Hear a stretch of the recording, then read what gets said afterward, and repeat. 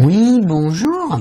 Alors il paraît que la sécurité sociale va rembourser les préservatifs. C'est bien, mais encore faut-il s'en servir. Justement à ce propos, la Sécu, elle pourrait pas rembourser les les péri les péritacépétiques, les pétitariciciennes, les tépiracéticiennes, les, pa per les péripatéfis, les, les putes.